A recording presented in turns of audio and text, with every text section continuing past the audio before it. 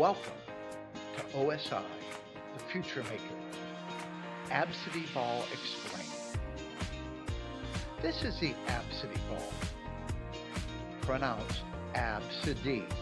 Officially, the toy is called the Hoberman Sphere.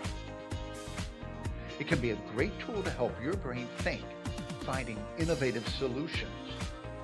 There are four steps A, B, C. Well, you get the idea. A is for aim, B is for break, C is for combine, and D is for develop. Here's how you do it. It follows the brain's information processing steps, starting with aim, which is clarify the goal and objective, break, break down all factors involved, combine, find a way to achieve everything, and develop, grow, and strengthen the idea. How to use the Absidy ball. Aim, break, combine, develop. And if you're really stuck, you can always try this.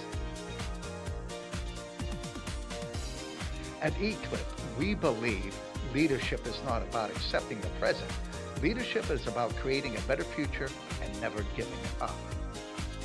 Visit us at iclif.org.